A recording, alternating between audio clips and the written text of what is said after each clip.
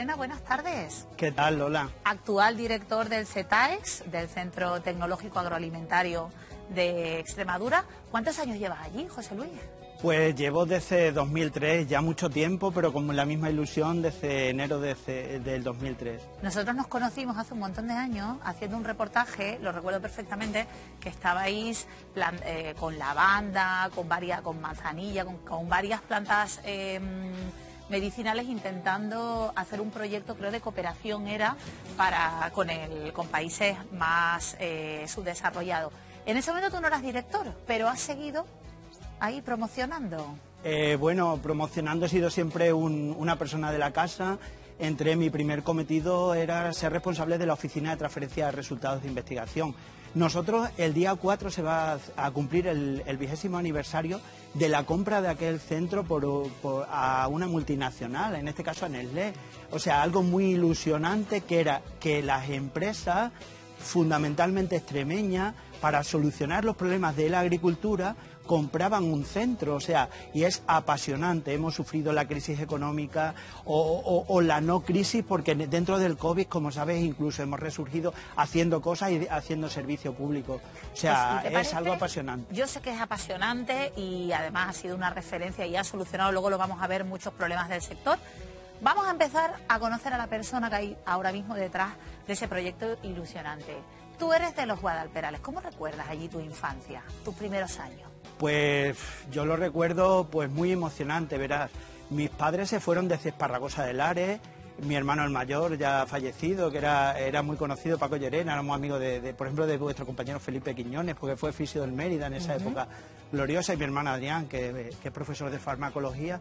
Y, y, recuerdo que allí se fueron mis padres, yo era muy pequeño y mi casa era como el centro del pueblo. Mi madre Irene pues era la que administraba el banco, vendíamos gaseosas, eh, éramos la sucursal de, una tienda de Villanueva La Serena y entonces comprábamos las máquinas de coser para las vecinas, aquello era todo muy familiar, era una sociedad que se estaba haciendo. Bueno, de hecho creo recordar que tu padre fue el que asesoró a los primeros colonos cómo tenían que plantar y sembrar la tierra. Claro, mi padre se fue en ese primer momento, empezó a trabajar en las parcelas de experiencia quizás de ahí me viene la vocación de la transferencia de tecnología y le, le convencieron los técnicos del Instituto de Reforma y Desarrollo Agrario, entonces se llamaba Instituto Nacional de Colonización, para que se fuera a Lérida a hacer el curso de mayoral de Lérida. Dejó a, mi, a mis hermanos mayores y a mi madre eh, en el pueblo, que todas las comunicaciones no eran, como, ahora. Se fue a Lérida eh, con el número uno de su promoción, vino, ¿no? Y era el técnico, era una especie de capataz agrícola que asesoraba a los agricultores, como al padre Eusebio, que es el padre de una compañera vuestra, que en todas estas nuevas técnicas de la agricultura, ¿sabes? A, enseñarles a regar, a plantar o algo. Creo que es lo más sofisticado que hay en la agricultura todavía, que es la fruticultura, ¿no? Esos perales, pues imagínate la cantidad. Lo han mencionado en, en la conexión en directo que ha hecho Sara, han mencionado a tu padre, don Cándido eh, Yerena. Hablas con una pasión del mundo de la agricultura que por lo que veo lo has mamado desde chico cuando tú te vas a estudiar a Badajoz, ya llevabas tú un pozo acumulado de muchos años. Claro, nos fuimos previamente, fue, fue un shock porque pasamos en medio por otro pueblo de colonización y llegamos de un medio rural al instituto más céntrico de Badajoz con un origen rural, bueno, y, aquello de cuando haces la selectividad y ahora que estudias, ¿no? Pues bueno, eh, me, gustaba la ingeniería, me gustaba el mundo de la naturaleza y bueno, y, empecé ingeniero técnico agrícola, aunque como dije el otro día en una entrevista, me gusta casi más contar las cosas que tener paciencia para estar en un laboratorio o en otras cosas. Mira, están viendo nuestros espectadores hace un rato, yo creo que es una foto de tu padre, ¿verdad? Eh, sí, se ve en el fondo, qué sorpresa, qué emocionante, sí, en Pues hay una persona que nos ha hecho llegar esta foto y un recuerdo muy bonito que queremos que veas. Tú mira ese monitor. Cándido Llerena conocido como el perito de los árboles, vino a los Guadalperales a través del Instituto Nacional de Colonización. Era el que nos asesoraba de los frutales para las enfermedades que tenían y los tratamientos que teníamos que darle. Esta plantación de alcolines que yo tengo fue diseñada por él al marco que la tenía que poner y son los últimos que quedan de esa fecha. Eh, tienen 52 años. era un buen hombre y era amigo mío, que me acuerdo mucho de él. ¿Quién es Manuel, José Luis? Qué sorpresa, ¿no? ya te hemos desmontado. No estaba yo preparado para esto. ¿Quién es Manuel que habla con ese cariño de tu padre? Pues un colono de los Guadalperales. Yo me acuerdo, por eso decía que familiarmente mi casa era. Me acuerdo que todos los colonos le preguntaban. Eh, eh, mi padre me acuerdo eh, los primeros libros con los que empecé a estudiar la carrera eran los que mi padre desbrozaba pues para, para algo tan fundamental como eran las plagas y enfermedades, ¿no? Entonces no se conocía tanto, ¿no? Yo ahora doy clases de viticultura en mi otro trabajo en la Universidad de Extremadura, que sabes que doy clases de enología, y, la, eh, la, defensa de los cultivos ha cambiado tanto que en ese momento se descubrió la lucha química, ahora estamos en la agricultura biológica, ¿no? Joder, qué, emocionante pues poder haber todo eso. Y don Eusebio, el sacerdote, está apareciendo ahí. Mira, ahí apareció mi vocación con los medios de comunicación, leyendo en la comunión. Oye, José Luis, ¿tu padre llegó a conocer el ZEX? ¿La construcción, este proyecto? No, pero sí era amigo del señor que tiene la finca al lado y claro, era apasionante porque yo trabajaba antes en cooperativas agroalimentarias y no entendía mucho que, era una organización de representación aquello, pero vosotros compráis, vendéis abonos, no, pero aquello sí lo entendía. Y hacía lo mismo, que es esto, que es la transferencia de tecnología.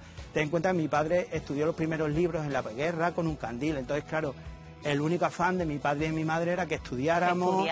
Y fue también duro pues el choque de, pasar del medio rural a, una ciudad. A una ciudad o incluso me acuerdo cuando me fui a Madrid a hacer curso de adaptación. Digo, no, no, mi adaptación vino entonces. Si algo ha cambiado en Extremadura, hoy día en el medio rural tenemos los mismos servicios que tenemos en una ciudad y con más calidad de vida. Cuéntame qué es esa libreta. Pues esto es un recuerdo mm, de mi padre donde ha dejado escrito pues toda la historia, la pequeña o gran historia de los Guadalperales. Eh, cada uno de cada una de las parcelas de cada una de las parcelas cada una de las viviendas quién fue el primer adjudicatario cómo fueron cambiando de mano eh, la verdad que es muy bonito, tendríamos que, reescribir todo esto, o, mi duda es con la caligrafía, que en eso no ha salido a mi padre tan impecable, porque yo para esto eh, pienso antes que escribo, y, yo, claro, yo ya soy de la tecnología del PC, y, hay cosas, incluso en la última parte, habla mi padre de, una finca de secano, que tiene la cooperativa que no habría que, que, disgregarse. Bueno, eso desde luego, nada va a llegar a eso. Te agradecemos que hayas venido con este recuerdo. Pero es que José Luis ha venido cargado. Vámonos para abajo, José Luis. Tenemos que guardar las distancias, ya sabes, por el protocolo COVID. Pero yo sí te he preguntado antes por tu padre, porque tu padre, que era un hombre que amaba el campo, que ayudó, que hoy le recuerdan con tanto cariño, estaría orgullosísimo de que su hijo dirigiese este centro que tanto, tanto y tanto ha ayudado y sigue ayudando a los agricultores extremeños. Vamos a empezar a contarle a los extremeños algunas de las cositas que has traído. Por ejemplo, eso que vemos ahí, ¿qué es, José Luis? Pues mira, tenemos hidrogel de cáñamo para empezar, ¿sabes? Hidrogel de cáñamo. Hidrogel de cáñamo que luego te lo iremos contando. Esto, ¿no? Eso, eso, que ya sabes que durante la pandemia todos mis compañeros hicimos 5.000 litros de hidrogel para, para ponerlo a disposición de todas las de todos los centros sociosanitarios que hicisteis eh, con esta... Lo contamos, lo donasteis en esos momentos en los que era tan difícil conseguir material. Sí, sí, sí. Gracias también a la colaboración de Viña Oliva y todo el equipo de CETAES. Pues mira, en esa época de mi padre, de los Perales, del Arcolini, pues había que mirar el sol y saber si llovía o no. Pues mira, hoy día mis compañeros de, agricultura, mira, nos han dejado pues una estación que con este sensor se mete, eh, se mete en la en la parcela y tú con el teléfono móvil, que es la principal herramienta hoy, hoy para saber todo, sabes la humedad del suelo. fíjense ustedes que solo que, lo que habrá supuesto eso, lo que habrá supuesto eso es la revolución para tantos y tantos hombres y mujeres de campo. Hay una cosa muy importante, cuando tenemos un problema y lo hemos hablado muchas veces cuando hacía ese trabajo tan duro y tan ímprobo que era ser reportera cuando, cuando en tus primeros comienzos ibas por el centro. Que hoy hacen mis compañeros fantásticamente bien y que a veces se echa de menos, José Luis. Se echa de menos, ¿verdad? Eh, en la agricultura siempre tiene un problema de comunicación. Siempre salimos pues para quejarnos y demás, pero la agricultura y por ejemplo en el tomate, que sabes que es uno de nuestros principales trabajos, hemos pasado de producir unas 50 toneladas por hectárea a producir 100 pero eso con menos agua, con menos fertilizante que hace 20 años. Gracias a la tecnología, porque tú vas a regar lo que necesitas. O mira qué cosa más sofisticada que estamos trabajando en, eh, gracias a esta cámara, en saber la humectación que tiene esa hoja. Esto es de un proyecto que se llama Vitinaz, que estamos trabajando desde Extremadura con una de las principales bodegas Es decir, que de con Castilla estas cositas vosotros mejoráis la rentabilidad, ahorráis costes, ayudáis a los agricultores a producir más, más barato y a que su producto también sea más competitivo. A eso, a eso te voy. Y además desde un centro, no se te olvide, empresarial, de que compramos, mira, aquí tienes una Cuéntame qué es esto, que esto me suena a que es algo de lo que yo hace unos 12 años empecé a contar, ¿no? Claro, pues esto es, eh, yo creo que si estamos hablando y, eh, y estamos presentando una Extremadura rural, que yo creo que es uno de los principales valores que tenemos. Aquí tenemos el romero, tú que has estado tanto tiempo en Andalucía, el romero no solamente te da suerte, sino que eh, lo importante de todo esto es que no vendamos a lo mejor que también esas plantas secas, sino que le vendamos aceites esenciales, los podamos exportar, esto como conservante, como ambientador como, como producto remediador muchas veces de las enfermedades de la pandemia, ¿vale? Con productos naturales, pero lo importante es quedarnos aquí, seguir transformando. O sea, vosotros lo que hacéis es eso, dar ideas y fórmulas a los agricultores para transformar su producto y ser, tener una mayor gama. Es decir, no solo el tomate, el licopeno también, que me imagino que será esto, ¿no? Eso es, me lo han dado mis compañeros de laboratorio con, como- con un Oro tesoro, porque paño, sabíais ¿no? que erais vosotros y porque saben que tu compañero Juan Pedro es de Villafranco y sabes que tenemos excelentes compañeras de Trujillo. O sea, no os preocupéis que cuando toque Villafranco otras cosas tendremos. Eh, eso es hipérico, eso también, fíjate, de una planta que salga algo de ese color. De este color. Pero ahí tienes el tomate, es decir, Esto cremas es, no, perdona, eh, Esto que vemos eso aquí. son cremas que se obtienen con el licopeno del tomate, que se obtiene de la piel que está abrir? sobrando, claro, por favor. Entonces, eh, lo que hacemos son proyectos integrales para darle solución, y eso anoche me llamaba pues un conocido de los Guadalperales. No podemos dar eh, sustento a agricultores individuales, lo fundamental es la organización a través de cooperativas, de empresas. Estoy alucinando, flores, que hemos visto también cómo se cocina con flores. Y el Eso cáñamo, es- son flores de cáñamo. y el que ya nos habló Calero en su día, y que esto también está siendo una revolución para el campo. Eh, ahora mismo, pero con un cultivo, como dije el día de la presentación del Polo Tecnológico del Cáñamo, con responsabilidad, porque hoy por hoy la legislación no permite el manipular las flores de, de cáñamo. El cáñamo tiene una serie de posibilidades tremendas, que eh, el CBD es el producto curativo que lo podemos utilizar en galletas o incluso en esa crema que tú tienes ahí. Mira, nos he- hemos conseguido que el laboratorio del centro sea la referencia ahora para los productores y transformadores, que esa crema comercial, que la podemos comprar en cualquier superficie, se han analizado eh, en el laboratorio del centro. Porque Esto es una crema calmante que produce alivio, Sí. que está patent aquí, inventada aquí, ideada aquí Eh, en Extremadura, por un un- equipo extremeño. es una crema que nosotros somos los que hacemos ese control de calidad, ¿vale? Entonces, tanto de productores como de transformadores, EZ es ahora mismo el centro de referencia eh, del cáñamo en Europa. ¿Sabes lo que más me fascina, José Luis?